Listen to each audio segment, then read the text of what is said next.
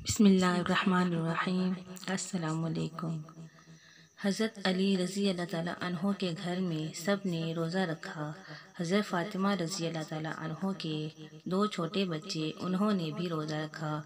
मगरिब का वक़्त होने वाला है और सब के सब मसल्ला बछा के रो रो कर दुआ मांगते हैं।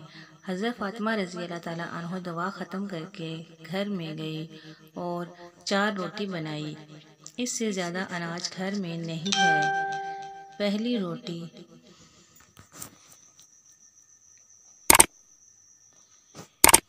अपने शोहर के सामने रख दी। दूसरी रोटी अपने बड़े बेटे हसन रज़ी अल्लाह के सामने। तीसरी रोटी अपने छोटे बेटे हुसैन रज़ी अल्लाह के सामने। और चौथी रोटी अपने सामने रख ली। मस्जिद नबी में अजान होने लगी। सबने रोटी से रोज़ा खोला। मगर दोस्तों, वो फ़ातिमा रज़ी अल्लाह ताला थी, जिसने आधी रोटी खाई और आधी रोटी खाई और आधी रोटी दुबट्टे से बांधने लगी। ये मामला हज़रत रज़ी अल्लाह ताला ने देखा और कहा, ए फ़ातिमा रज़ी अल्लाह ताला तुझे भूख नहीं लगी? एक ही तो रोटी है। उसमें से आधी रोटी दुबट्टे में बाँध रही हो।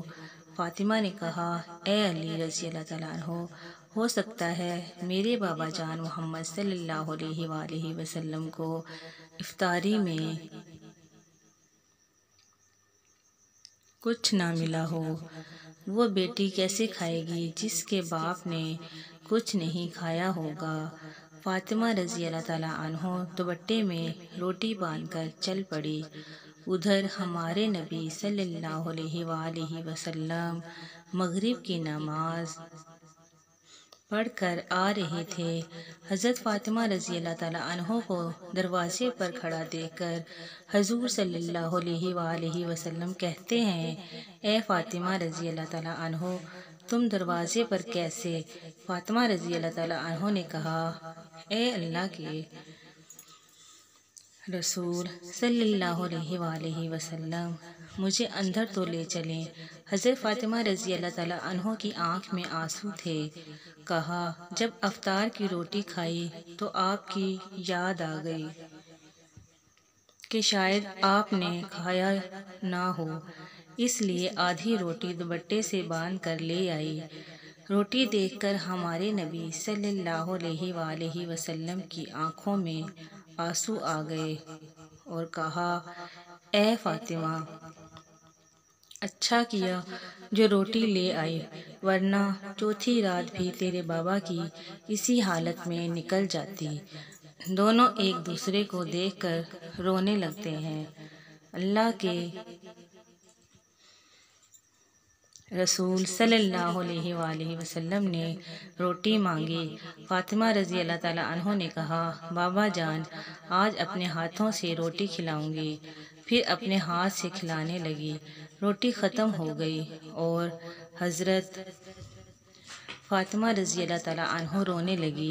हजूर सल्लल्लाहु अलैहि वसल्लम ने देखा और कहा कि फ़ातिमा, अब क्यों रोती हो? कहा, अब्बा जान, कल क्या होगा? कल कौन खिलाने आएगा? कल क्या मेरे घर में चूल्हा जलेगा? कल क्या आपके घर में चूल्हा जलेगा? नबी सल्लल्लाहु अलैहि वसल्लम ने अपना प्यारा हाथ फातिमा के सर पर रखा और कहा, ए फातिमा रज़ी अल्लाह ताला अन्हो तू भी सब्र कर ले और मैं भी सब्र करता हूँ। हमारे सब्र से अल्लाह उम्मत के गुनागारों का गुनाह माफ़ करेगा। अल्लाह अकबर। ये होती है मोहब्बत जो नबी को हमसे थी, उम्मत से थी। ये गुनागार उम्मती हम ही हैं जिनके लिए नबी भूखे रहे, नबी की बेटी भूखी रही और हम लोग क्या कर रहे हैं उनके लिए? कल क़्यामत के दिन मैं और आप सब लोग क्या जवाब देंगे? अगर ये तहरीर आपको अच्छी लगी तो इसको ज़्यादा से ज़्यादा शेयर करें और मेरे चैनल को लाजमी सब्सक्राइब करें और लाइक करें और बेल आइकन को भी दबा दें। अल्लाह हाफिज़।